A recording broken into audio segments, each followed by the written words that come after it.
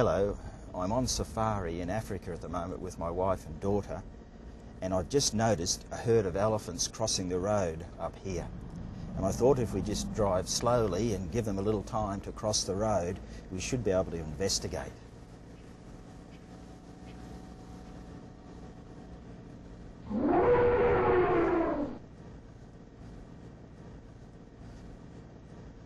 Quite noisy at the moment, actually. They don't seem very happy. It's probably because of our presence here.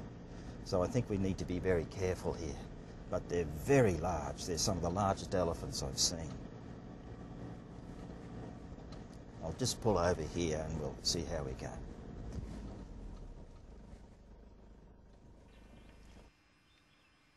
Most of the elephants have moved now into the bush but up ahead in a grassy spot I can still see a solitary young male that's yet to clear the road.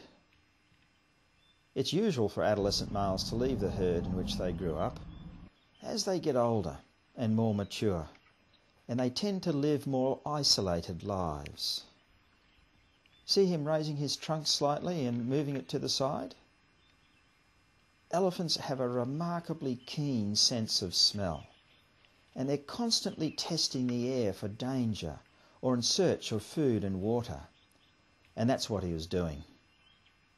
After all, as far as he's concerned, we're intruders into his territory. And so he was just checking us out. He's getting closer now. He doesn't seem to be aggressive. Nevertheless, we'd better not take any risks. So we'll wait until he passes by before I get out.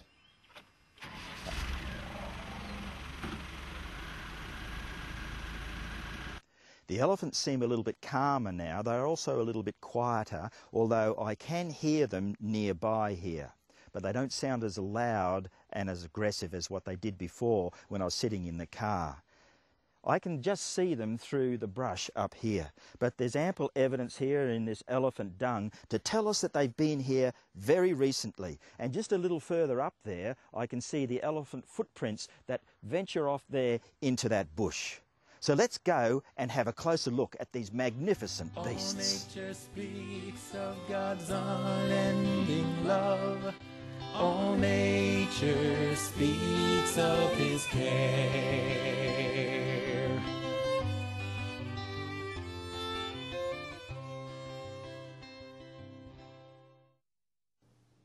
I can see the elephants ahead through the scrub, and they seem relatively settled. Hopefully they haven't picked up my presence yet, because I am downwind from them, but the elephants do have the ability to detect friends or foe not only through sound and scent, but also through vibration receptors in their trunks and their feet. But so far, so good. I'll try and get a little closer. You know, it's when you're as close as this to wild elephants that you appreciate their immense size and potential power like never before. They're certainly a most mighty animal and the giant of the animal kingdom. Once again, we see a testimony to the creative power of the master designer. And once again, I would like to share with you some of the remarkable features of God's creation and some spiritual lessons that can be gleaned when we observe the elephant. This is Greg Evans speaking, and I'm pleased to be able to present to you another chapter in the series, Nature's Lesson Book.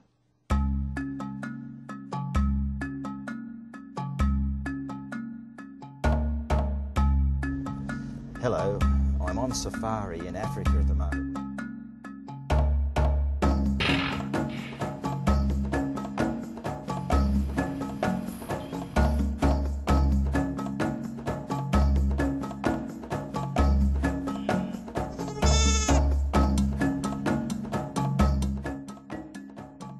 The elephant is one of the best known and most admired of the world's wild animals.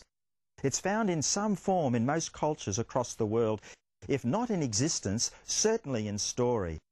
It's a symbol of wisdom and power and is famed for its memory and intelligence, where it's considered to be comparable with dolphins. Aristotle described the elephant as the beast which passeth all others in wit and mind. There are two main types of elephant, the African and the Asian elephant. And of the two, the African is larger. It is the heaviest of all land animals. In fact, the largest ever recorded elephant was in 1956, where a male elephant weighed about 12,000 kilograms and had a shoulder height of 4.2 metres. The elephant is considered an adult at about 25 years and live for about 70 years. Adult elephants have no natural predators. However, lions may attack calves or weak ones. Disappointingly, the elephant's greatest threat comes from human intrusion and poaching. Once numbering in the millions, the African elephant population has dwindled to hundreds of thousands. The elephant is now a protected species in most parts of the world, with restrictions in places on capture, domestic use, and trade in products such as ivory, which comes from the elephant's tusks. The tusks are actually its upper incisors. Tusks grow continuously, and in an adult male at a rate of about 18 centimetres a year, to a length of over 3 metres, and they can weigh over 90 kilograms. Tusks are used to dig for water, roots and minerals, especially salt. They are also used to debark, to dig into and to move trees. In addition, they are also used for marking trees to establish territory and occasionally as weapons. Now here's an interesting point. Just as humans are usually right or left-handed, elephants are generally right or left tusked. The preferred tusk is called the master tusk, and it is usually shorter and rounder at the tip from wear. Tusks are mostly made of calcium phosphate. Ivory is relatively soft compared to other minerals and is so strongly favoured by artists for its carvability that it's used widely. Unfortunately, the desire for elephant ivory has been one of the major factors in the reduction of the world's elephant population. Elephants are herbivores and grasses comprise at least 50% of their diet. This is supplemented with leaves, twigs, bark and roots. Elephants also consume small amounts of bamboo and fruits, seeds and flowers where they're available. Their digestive system, however, has a low metabolic efficiency, so they need to spend up to 16 hours a day eating plant food during which time they will actually ingest between 140 and 270 kilos of food daily. Only about 40% of this food will be digested and absorbed. And the other 60% of the food will leave the elephant's body unabsorbed. In order to support its massive head and body, the elephant has legs that are like great straight pillars and large feet. This design is an intelligent one because it means that the elephant needs less muscular power to stand. Consequently, an elephant can stand for very long periods of time without tiring. So African elephants rarely lie down unless they are weak from sickness or injury. But Asian elephants often lie down. Despite its huge size, its great bulk, the elephant can move at speeds of up to 25 kilometres per hour. It can't trot or jump or gallop, but it does have two gaits, walking and a form of running. But at no stage are all its feet off the ground at the same time. An elephant starts running at about 8 kilometres an hour and uses this same gait at its top speed. A common name for the elephant, which was derived from its former scientific name, is pachyderm, which simply means thick skin and thick-skinned they are. The skin of the elephant is about two and a half centimetres thick in most parts of the body and is extremely tough. The colour of the elephant's skin is typically grey. Of course, if the elephant is dirty from mud or dirt baths, the skin will appear to be a similar colour as the mud, often a red or brown colour. Wallowing in mud is a common and important behaviour in the elephant. It's important for socialisation, But the mud also acts as a sunscreen. You see, although the elephant has thick, tough skin, it's also quite sensitive.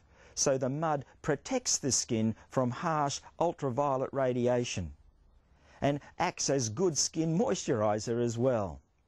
It also aids in regulating body temperature because the elephant does have some difficulty in releasing heat through its skin because it has less of it I suppose, in proportion to the immense size of its body. So, the elephant's skin would suffer serious damage from ultraviolet light, insect bites, and moisture loss if the elephant did not take regular wallowing mud baths. After wallowing, the elephant will often blow dirt on its body, which is baked on by the sun and provides a temporary protective coating. A most notable feature of the elephant, of course, is its large flapping ears, which are very important in regulating body temperature. African elephants have bigger ears than Asian elephants, probably because they live in slightly hotter climates. Asian elephants, on the other hand, live in cooler climates and so have smaller ears. The ears are made of a thin layer of a skin containing a rich network of blood vessels, which is stretched over a large flat plane of cartilage. It is because of this large, highly vascular surface area that the ears function in temperature regulation. When the elephant is hot, it will continually flap its ears, thereby creating a breeze. And this breeze allows the blood in the vessels of the ear to dissipate heat sometimes as much as 12 degrees centigrade. This cooler blood is then circulated to other parts of the body to cool them. The elephant uses its ears in displays of dominance and aggression. If an elephant wants to fend off or intimidate an intruder or rival, it will extend its ears widely, giving the impression that it is larger and a more imposing beast. The ears also come into play in the breeding season. The male gives off an odour from the musth gland, which are situated just behind their eyes. One elephant researcher believes that males will fan their ears in an effort to propel this elephant cologne, you could say, greater distances. Probably the most impressive characteristic of the elephant is its trunk. The trunk is truly a remarkable and specialised organ, which clearly shows the work of the master designer. It is like a combination of an elongated nose and an upper lip, and is the elephant's most important and versatile appendage. It's used in an amazing range of activities. The trunk functions as an important part of the respiratory system. It can suck up up to four litres of water at one time and blow it into its mouth for drinking, or spray it onto its body to cool or clean itself. The elephant can even inhale mud and dirt into its trunk and blow it over its back and flanks as a method of, as we said before, sunscreening and insect repellent. The elephant is an excellent swimmer, and its trunk also makes an excellent snorkel. The elephant's trunk is used for displays of dominance. A raised trunk can be a warning or threat, while a lowered trunk can be a sign of submission. The elephant defends itself very well by flailing its trunk at unwanted intruders or by grasping and flinging it. The elephant also relies on its trunk for its highly developed sense of smell, raising the trunk up in the air and swivelling it from side to side like a periscope. It can determine the location of food or enemies and, of course, friends and relatives. It's such an amazing organ. According to zoologists, the trunk contains more than 40,000 individual muscles, and some say it's actually closer to 100,000. So it's understandable that the trunk is so powerful that it can be used as an extra limb, it can be used to uproot trees and to deliver a disabling or fatal blow to a predator. Along with its huge mass and its tusk, the trunk is used in fits of rage where it's been known to destroy villages, flatten trees, and even kill villagers. It seems that sometimes the love of its power far exceeds the power of its love for other creatures and things. What is so amazing is that the trunk can also perform tasks that demand skill, sensitivity and dexterity. You see, the tip, which consists of one or two finger-like projections, is so sensitive and dexterous that it can be used to pluck a single blade of grass, pick individual berries, or caress and pet loved ones. Elephants have quite a structured social order of life, and we find that the social lives of male and female elephants are quite different. Females spend their lives in bonded family groups of mothers, daughters, sisters, and aunts, the head of which is usually the eldest female called the matriarch. On the other hand, adult males live mostly solitary lives. An elephant's social life revolves around family and raising young. Females are old enough to breed at about 13 years of age and they signal their readiness to mate with special calls and odours.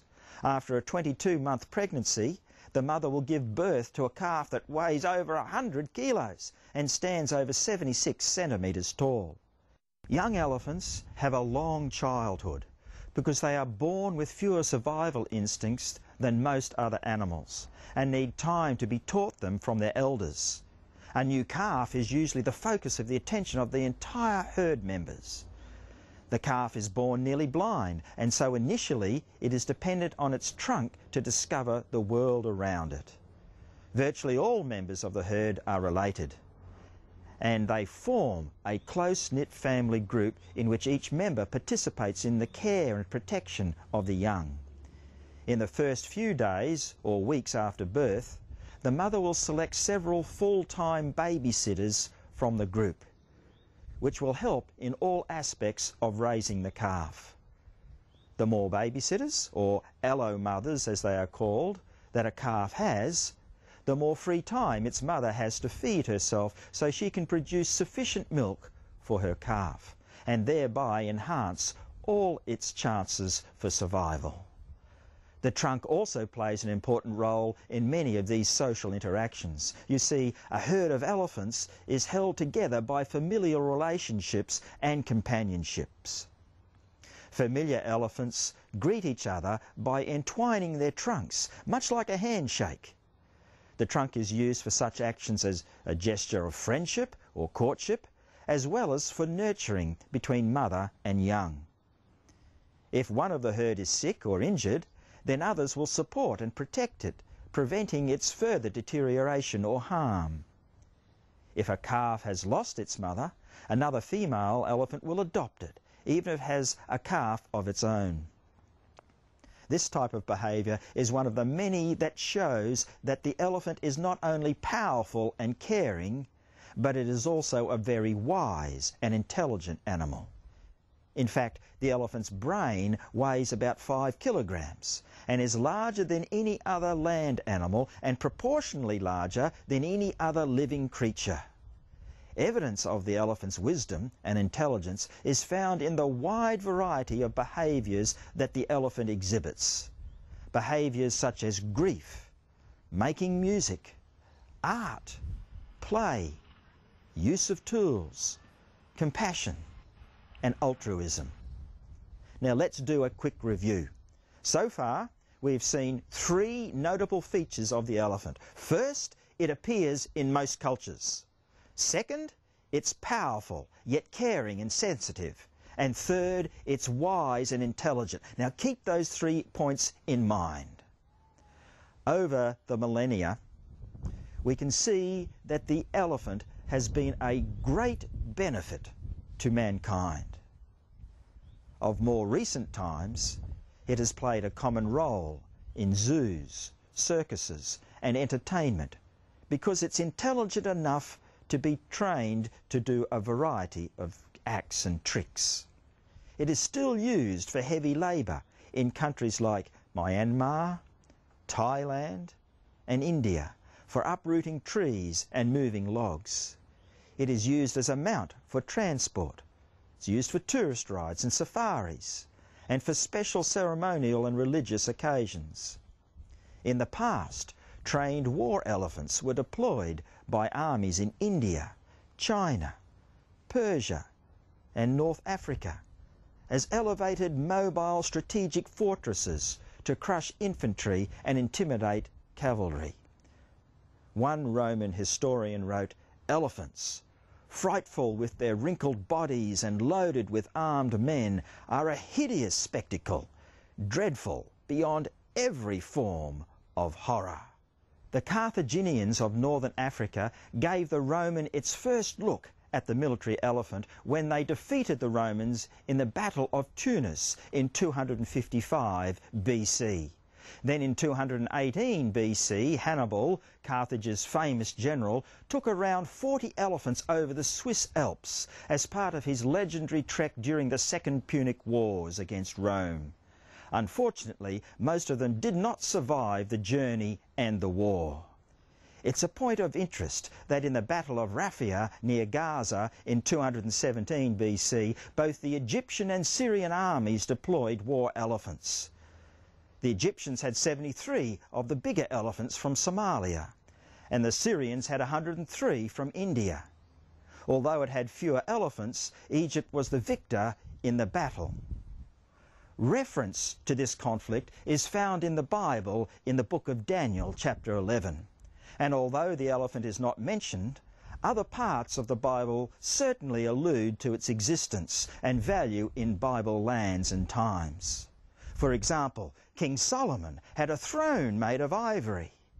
He also used the imagery of fine white ivory to describe the neck of a beautiful woman evil King Ahab built a house with ivory, and Amos writes of beds made of ivory. So, ivory in ancient times was highly sought after and a symbol of wealth and extravagance. But we're actually told in the last book of the Bible, in the book of Revelation, that there will come a time when ivory loses its value. So the elephant was no stranger to the cultures of Bible lands and times, and even back in those days it was considered an animal of great power and intelligence, as well as care and sensitivity. It is here that I'm reminded of another who was revealed in the Bible and who manifests those same characteristics, but to an infinite degree the Bible tells us that God has also appeared to all cultures, and that He is powerful, and that He is so intelligent that He truly knows everything. God is always present or omnipresent. He is all knowing or omniscient, and He is all powerful or omnipotent. Describing God's omnipresence, King David asks the rhetorical question in Psalm 139 and verse 7 where can I go from your spirit? Of course, the answer is nowhere. Or where can I flee from your presence? Again, the answer is nowhere. And in Matthew chapter 28 and verse 20, Jesus promises, Lo, I am with you always, even unto the end of the age. His Spirit is always present with us if we choose Him to be describing God's omniscience. Job asks in chapter 37 and verse 16, Do you know how the clouds are balanced? Those wondrous works of Him who is perfect in knowledge. If God is perfect in knowledge, then He knows everything. And St. John writes in 1 John chapter 3 and verse 20, God is greater than our heart and knows all things. Describing God's omnipotence, John writes that all in heaven exclaim in Revelation 19 and verse 6, Alleluia! For the Lord God omnipotent reigns. That is, God is all powerful. And in Matthew 19 and verse 26, we read, But Jesus looked at them and said to them, With men this is impossible, but with God all things are possible. God has the power to speak the world into existence. He has the power to calm the seas and silence the winds. He has the power even to raise people from the grave. And here's an important point. Whereas it seems that the elephant's love of its power sometimes outweighs the power of its love for others, especially when it exhibits its behaviour of senseless rage, that is never seen in the case of God. You see, the power of God's love for you and for me always outweighs the love of His power. That's a significant difference. Friend, wouldn't you like to have someone like that feature in your life? To guide and advise you? To help fix up whatever mess you might have in your life? You can, friend, simply by choosing to get to know your Creator God. All nature speaks of God's unending love. The seas and the hills, the flowers so rare. The sunshine glad and refreshing rain remind us of God's loving care. All nature speaks of his care. The elephant is certainly a majestic animal. With its long, strong limbs and its muscular trunk, it's a most powerful animal. And it can use that power to do good or to be destructive. It can use that power to sustain and maintain its life. It can use that power to provide and to protect. Or it can use that power to be destructive. We've travelled throughout parts of Africa, and wherever there have been elephants, we've also seen trees which have been, it would seem, for no reason, pushed over. We've even seen power poles pushed over. I don't know if that's just a test of their strength or for what reason it has been done, but it is for the good that the elephant is best using its power. Our Creator God is all powerful. He created the elephant out of nothing, ex nihilo. He provides with his power. He protects us with his power. And he teaches us. He gives us all authority. He gives us all power to do good to each other, to show love and to show care, the same love and care that God has for us. We have the power and the authority to show others as well. Let's use that authority. Let's use that power which God has given us to make our life a more abundant life, to be more relational and loving and caring with others. In short, to do good for others. All nature speaks of God's unending love. The seas and the hills, the flowers so rare. The sunshine glad and refreshing rain remind us of God's loving care. All nature speaks of his care.